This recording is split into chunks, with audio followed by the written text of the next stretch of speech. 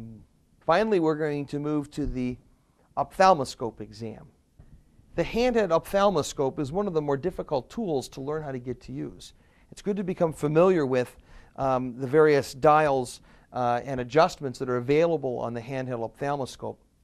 Certainly, this ophthalmoscope has a wall mount, and so it's attached by a cord. And sometimes you have to be careful not to have the cord uh, come across and strike the patient, and you need to support it a little bit. Most ophthalmoscopes will have um, a dial for um, focusing, they'll have a dial for dimming, and then they'll also have various um, lenses that come across the front with um, colors and uh, uh, diagrams as well as um, different sizes of lights. I usually use the larger size um, white light uh, to be able to see the pupil, um, or go see through the pupil uh, to the back um, of the retina. And so in order to perform this examination, we're going to stand just off to the side of the patient. And Mary, I'd like to ask you just again to look at the corner of the room. Okay. I'm going to come put my hand on her shoulder. You can also put a hand on the forehead with a thumb like this, both to steady and to gauge your distance. I'm going to hold the ophthalmoscope using two extended fingers like this. One is for focusing, and the other is for resting on her cheek. And as I come in at about a 50 degree angle, I can have both eyes open as I come in. And when my finger strikes her cheek, I can rest it there, close my left eye, and then with my right eye examine her right eye. I can focus in so that I can see the retina in a focus, and then begin to look at the blood vessels of the retina, the background of the retina, and then also towards the optic disc, optic nerve, and optic cup. Remember that as you're shining a bright light in someone's eye, they can have uh, a little bit of difficulty, and so sometimes it's good to pause in between eyes um, to give them a little break. Mary, I'm going to shift to the other side here. Mm-hmm. And again, one hand on your shoulder. Mm-hmm. I'm going to ask you to look towards the corner of the room. I'm going to come towards you here at um, about a 50 degree angle. And at this time, I'm going to switch over and I'm going to use my left hand um, and use my left eye to her left eye to avoid being uncomfortably in front of her during the exam. And I'm going to keep both eyes open until I come up against her cheek. And now I can um, easily guide and move my light to be sure I'm in the pupil. I can focus to be sure I've got the right focus. And then I observe the retinal blood vessels, background,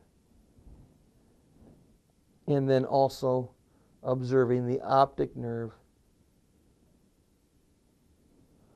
Very good. Thank you, Mary. You're welcome.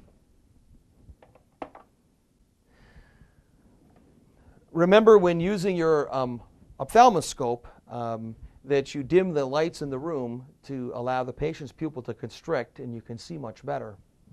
Um, also, you need to become familiar with your handheld ophthalmoscope and the various uh, uh, modes of operating. Sometimes these, um, if they both are off, both lights won't work at the same time, only one will. Um, so become familiar with your equipment to make sure that you know how to use it in each uh, location that you'll be uh, performing examinations. Next, we'll move to the ear examination, and we'll start with inspection. Uh, Mary, would you be able to just lift your hair back and around your ears? Sometimes it's nice to have the patient move their hair um, for you, uh, just for their comfort. And I'm going to start just by inspecting the outer ear, including palpating. I'm looking for lesions. I'm looking for pits. I'm looking for abnormalities of the skin uh, on the external ear. Um, and uh, everything looks symmetrical and normal. Next, we're going to test for auditory acuity, so just your ability to hear. Mm-hmm. And one method is just a whisper method. Um, so I'd like you to take your left hand, if you would, just plug one ear, mm-hmm. and then I'm just going to whisper over on this side. Bird. Bird. Very good. And then we'll do the same on this side. I'm going to use a different word though. Cat. Very good. Another method um, w- that can be used is the finger rub method. Um, Mary, I just like uh, you to close your eyes. Can you hear this? Mm-hmm. Good. And how about this? No, Mary, do you have any hearing loss? I do. On which side? On my right Mhm. side. So these are both methods that you can help to try to determine if someone might have a little bit of loss of hearing. And uh, there are certainly more um, uh, sophisticated methods using um, audiograms uh, to detect hearing loss. Next, we'll move to the otoscopic examination.